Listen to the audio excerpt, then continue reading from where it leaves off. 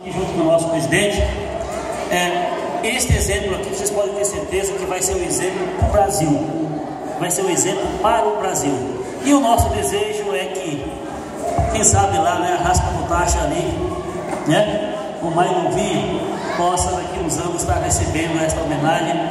Ele que possa dar suceder. Então, para nós é emocionante a família em Paé entregando para a família seu Anísio esta placa de serviços prestados a Denise, serviços prestados a Mato Grosso, pelos alimentos que estão produzindo para a população. Então eu fico muito grato, agradeço ao Roberto por ter nos dado a oportunidade de termos vindo aqui fazer este belo trabalho, não só com esta família, com aquelas que foram homenageadas e com vocês todos.